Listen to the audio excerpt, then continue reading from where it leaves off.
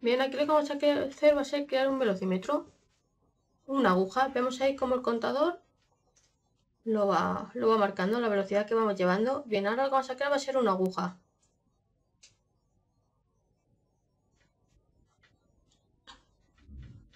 El sonido del coche lo he quitado, aunque ahora lo pondré.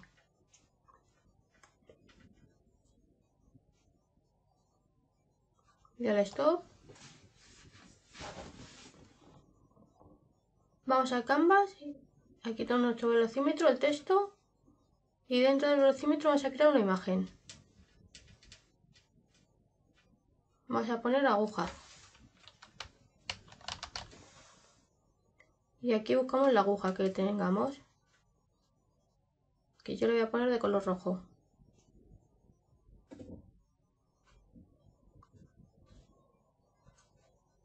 La colocamos. Bueno, yo tendría que hacerla más chiquitita, pero bueno. De momento la voy a colocar así. Y esto es importante, aquí en rotación, el punto Z.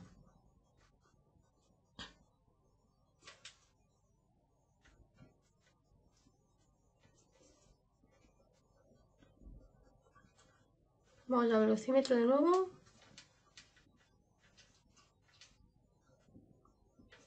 Vale.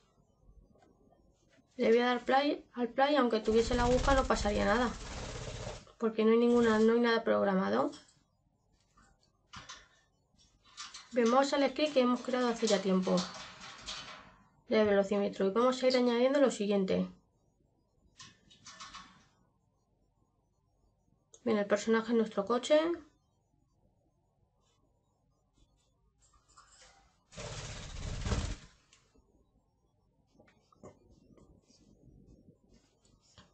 Velocidad, aquí mira, el mínimo velocímetro y máximo velocímetro. Pues esto es muy fácil. El mínimo va a ser... Vamos a la aguja, quiero la aguja. Y ahora si quiere lo pone, y ahora lo vamos a poner.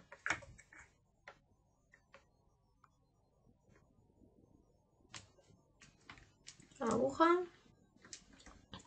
y aquí lo vamos a poner, vemos cómo se mueve la aguja este punto va a ser el mínimo. Lo copiamos, vamos a velocímetro.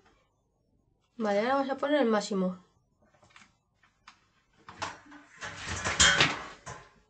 Espérate que se me acaba de caer el Lucas. Lucas, bonito.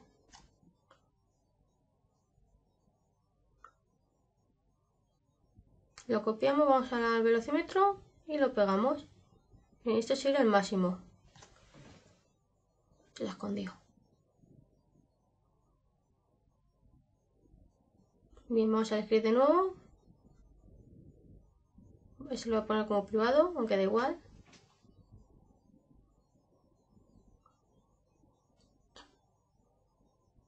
Bueno, esto es un componente de transform. Podríamos poner simplemente transform y no debería de funcionar igual. Bien, ahora vamos a programar lo siguiente. Que es lo mismo realmente, es lo mismo que tenemos arriba. Pero en vez de con el texto, con la aguja.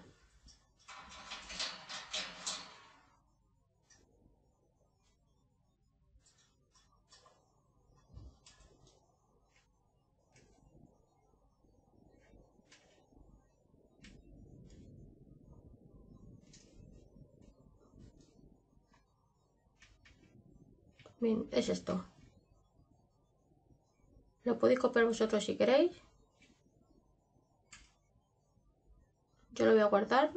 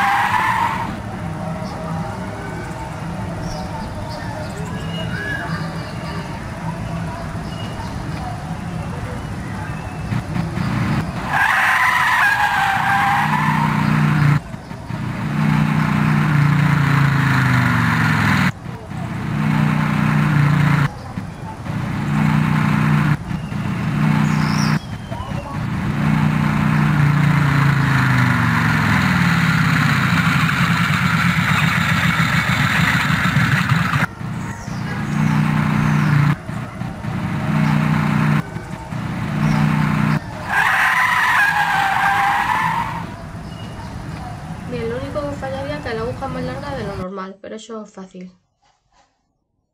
bottom, bottom, bottom.